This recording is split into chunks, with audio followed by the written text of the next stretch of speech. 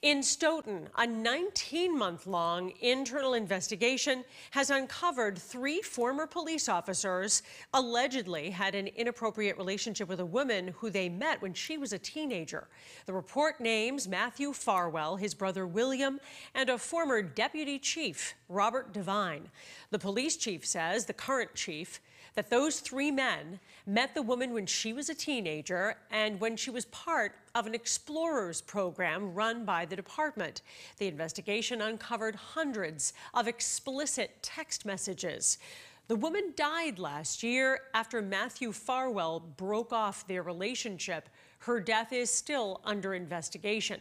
The chief is now seeking to get all three men decertified so that they can never be police officers in Massachusetts ever again. All three men, the Farwell brothers and Devine, violated their oaths of office and should never have the privilege of serving any community as a police officer through a sustained and deliberate com- combination of lies, deceit, and treachery.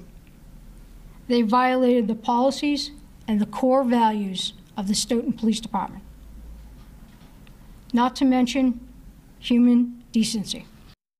The chief says there were two other men involved a military recruiter and a police officer who works for another department.